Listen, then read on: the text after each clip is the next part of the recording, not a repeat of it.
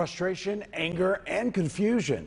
Those were some of the emotions riders felt today after being stranded for hours waiting for a bus. Good afternoon, I'm Chad Tucker. And I'm Natalie Wilson. Drivers from the Greensboro Transit Agency walked out this morning, leaving dozens of buses parked and passengers wondering how they were going to get to work, to school, and to appointments. Bus routes started up again around 1130, but people are still concerned that this could happen again. Fox 8's Aaliyah Sims joins us live from the depot in downtown Greensboro. Aaliyah, you learned from talking to regular riders that some were out there as early as 630 this morning.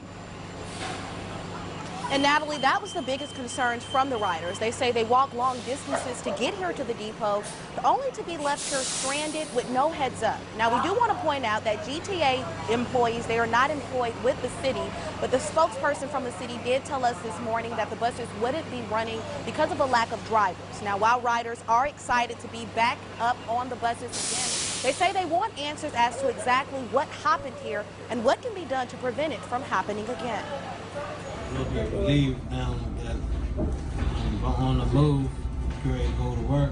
Darnell Bryant can breathe a little easier Tuesday afternoon. He, along with dozens of others, waited nearly six hours at the Greensboro Transit Agency depot in downtown Greensboro to get a ride to work. No heads up. It worries me a lot. None of the buses moving.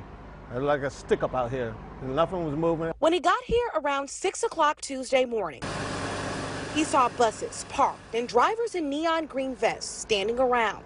He later learned the drivers planned to walk out, something Bryant says hits his wallet. I'm missing money. It's like, if I would have went in right now, at you, you do the math, at 13 $14 an hour.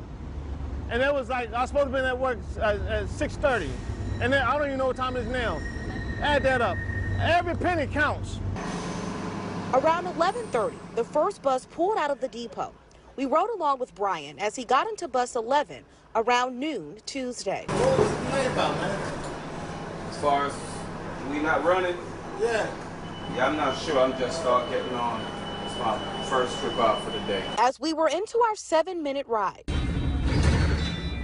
that is my boss calling.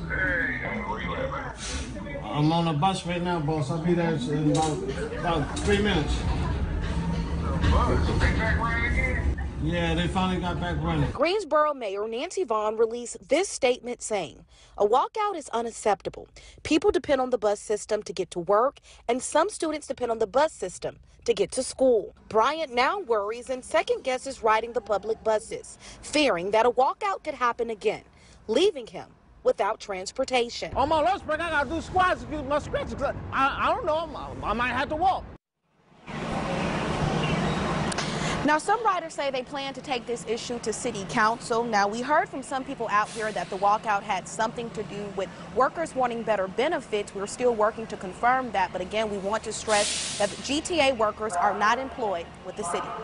Live in Greensboro, Aaliyah Sims, Fox 8 News. Leah, thank you for that up close look at the situation.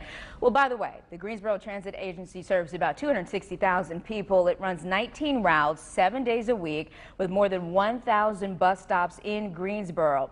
GTA also has one route that goes outside the city limits to provide transportation to and from Guilford Technical Community College in Jamestown.